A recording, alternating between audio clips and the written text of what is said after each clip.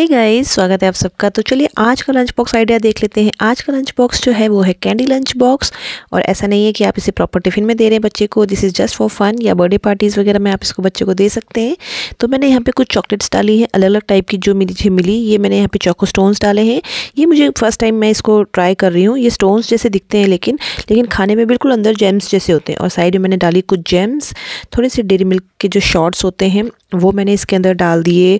जो जो मुझे मिला वो मुझे आ, मेरे को इजीली अवेलेबल हुआ वो मैंने डाल दिया।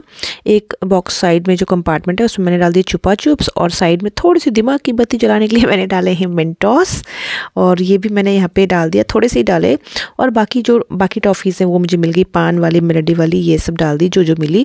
तो आप मुझे कमेंट करके बताइए कि आपकी फेवरेट कैंडी कौन सी है? इसमें मुझे सारी पसंद है एक्सेप्ट दैट पान वन वो मुझे नहीं पसंद है। चलिए थैंक यू